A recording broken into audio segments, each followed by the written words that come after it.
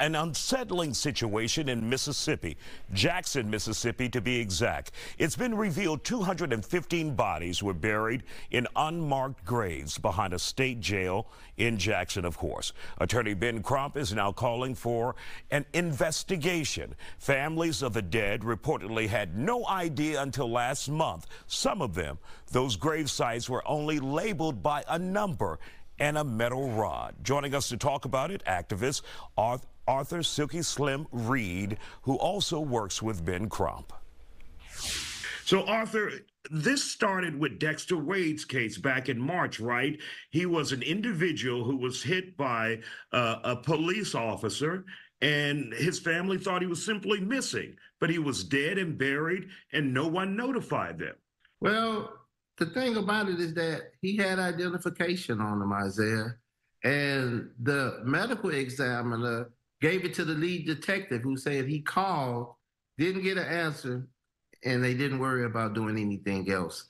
Um, what we're finding, Isiah, is that Mississippi is Mississippi.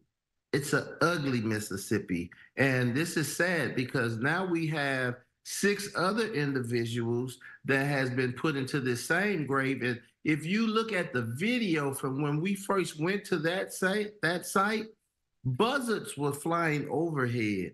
And we were trying to figure out why are the buzzards flying overhead? But it's because they're putting them in shallow graves and the only thing that they're putting them in is a body bag without embalming the bodies. So the stench from the bodies are drawing buzzards there. It's so inhumane for anybody to do any one like that, Isiah, is just horrible is what we can say. And that's not even a word that we should use in a situation like this. It's something that we haven't seen. And what we're seeing here is over 200 people in this, what they consider a pauper's grave behind the county jail there.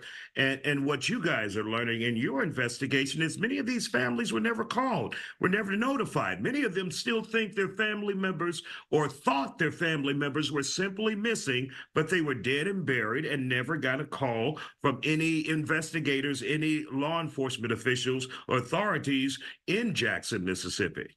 That's right. And one of the things that we faced uh, being Mississippi is that um, they thought that we were playing the race card. We have white clients as well. There were white people that were buried the same way, um, Isiah. And any human being that's buried the way that they're burying these individuals, it says a lot about the people that's doing this um, criminal act. And the only thing that we're asking, because people always look at us when we're out fighting for civil rights of individuals, the only thing that we're asking in this case, we want you to do the right thing and give them a humane burial. And the city is, you know, so it's crazy, Isiah, to see something like that. It's 2023. It's not 1940. But to see them just dumping bodies in a grave like that, and no name, just a number.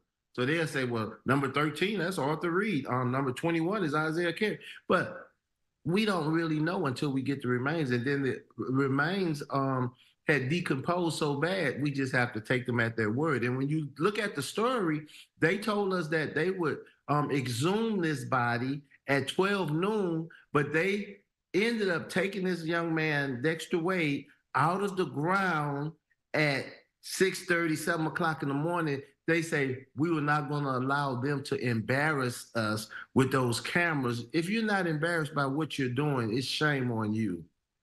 Absolutely incredible. Now, you guys, uh, along with Ben Crump and I think Attorney Dennis Sweet, you all are asking for a federal investigation that the feds come in and take a look at this and see exactly what's going on because there's some questions as to Dexter Wade's death when he was hit by the police officer. Whatever happened with the officer in this case? And why wasn't his family ever notified that he was dead and not just a missing person? So, bottom line, you want an investigation, right? We think many civil rights were violated in Dexter Wade's case.